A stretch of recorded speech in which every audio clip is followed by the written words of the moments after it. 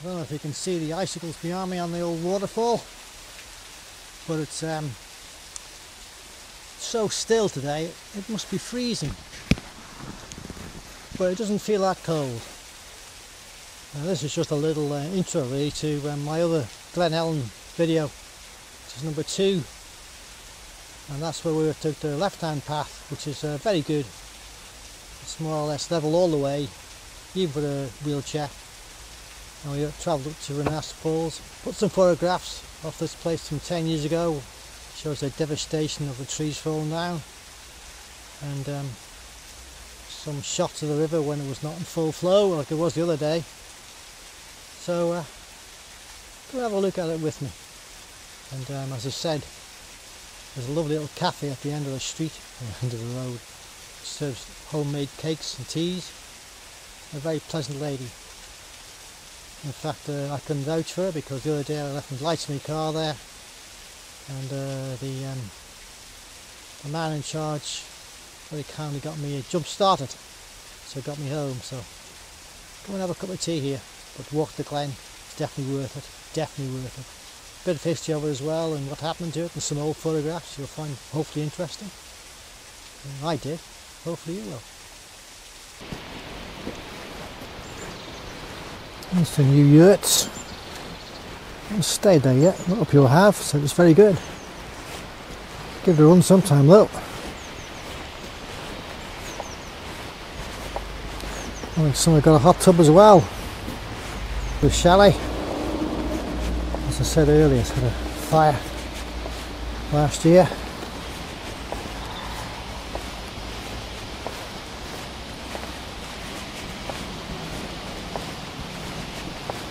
Fountain. This was here in Mr. Marsden's time, I think. This is the 1850s.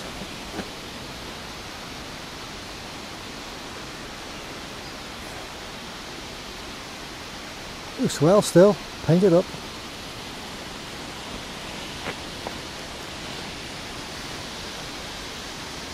The noise you can hear is the old waterfall just above the playground. And that's not before. Now, as they say, what a difference a day makes. I came down here the other day. So I just spent five minutes down Glen Helen. Won't take long. And uh, I'm back here today now. I did do a fair bit of videoing the other day, but I'm really too happy with the results. So not rain today. As the song says, what a difference a day makes. On the way we'll talk a bit about the history of Glen because um, I found it quite fascinating, which is why I've come back.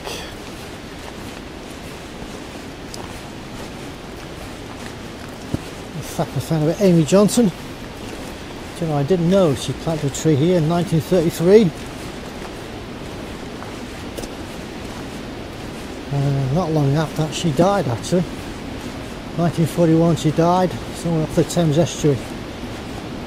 And um, lots of controversy over how she died and why she died.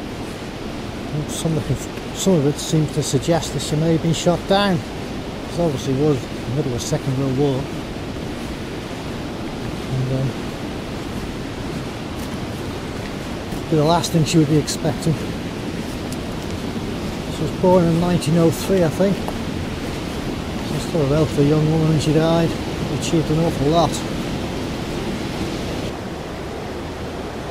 Not quite the roar that was on there on here yesterday my goodness was it strong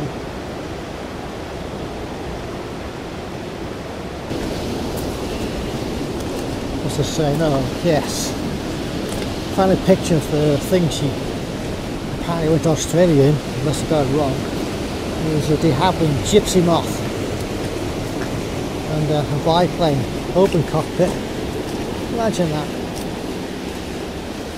well, you can't really, can you? I certainly couldn't. That's one little bit about it.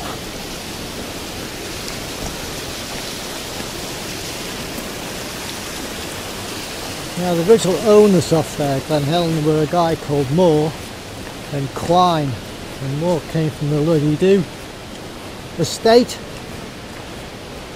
And then Quine had the Ballymore Mill.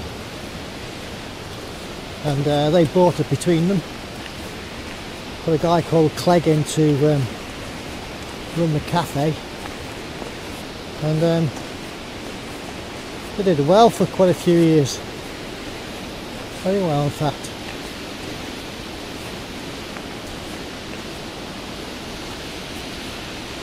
So the road you can hear to the right of me. And this little waterfall here, swelled up by yesterday's rain. I wasn't down here yesterday, but I'd imagine it would have been a torrent. Now when Moore and uh, Quine bought this place in 68, 1868, they paid £3,110 for the glen with 110 acres. The farm was 170, really big. And um, that today was 360 grand, so peanuts by anybody's stretch imagination. Then uh, let out the carding mill at the top of the glen to Mr. Nelson. He had it for a few years, couldn't make it pay, and um, he packed up. We move on to 1875 when these Manchester businessmen bought the place. I don't know who they were.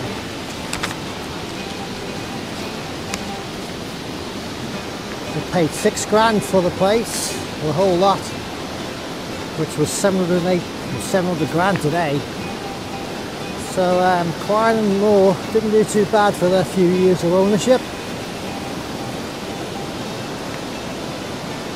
There's six thousand pound on the place, making it to date and new um,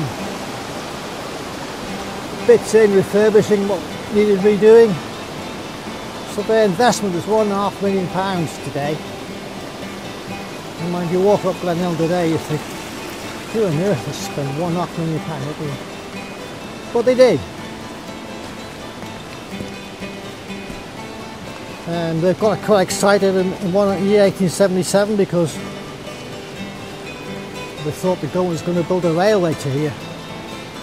And then their average tourists to their gate was 40,000 a year. And uh, these guys didn't actually run the glen, used to let it out to other people. So you'd have some guy to have an ass falls or whatever's up there, and the gate, and the cafe and hotel, separate people ran them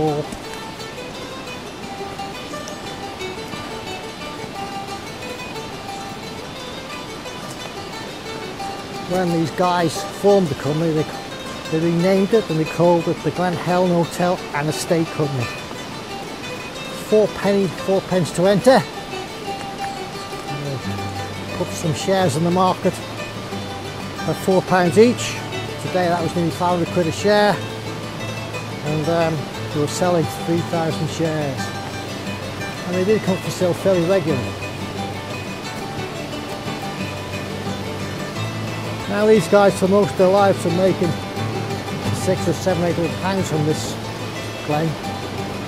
And um, today's money, that's 70 or 80 grand. And they ran it right up until the 1920s. And when it then went in decline, it got sold off to new owners, and we'll talk about those a bit later. We're all in uh, 1921, the um, Manchester businessmen decided it was time to sell up. Um, they didn't see any more future in it. They um, put the whole lot up for sale. And between 1921 and 1927, Mrs. Gregson owned it. I don't know when she bought it, but she owned it.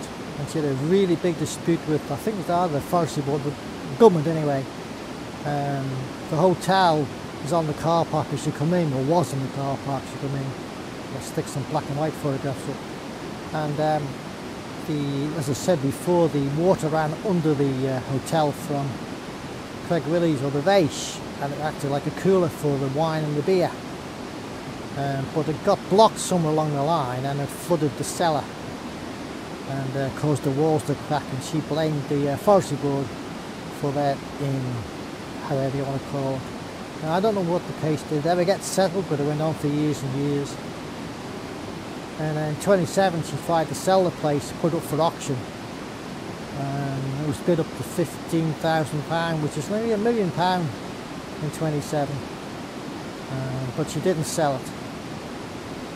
And um, the last sort of record I've got of a buy or selling thing was 1958 I think when the forestry board took it over.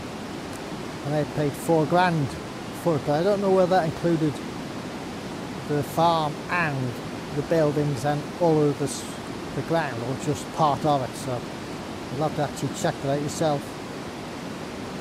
So there's a potted history of Glen Helen really. And um, what started out as a five minute walk up on the Glen and take a few pictures and go back home has turned into something a lot more well I find it very interesting delving into the history of Glen Helen. I'll put some uh, photos up of how it used to be so you get some idea. Um, at the end of this Glen I said Glenass Falls I'm not sure whether I'll do that today because it will be roaring today I guess. Roaring.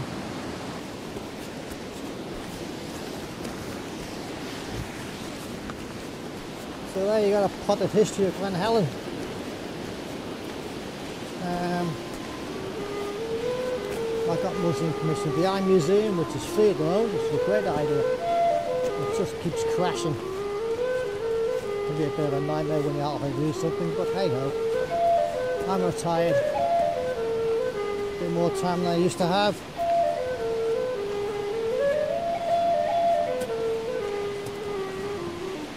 There'll be enough in this lot to make a series, I think.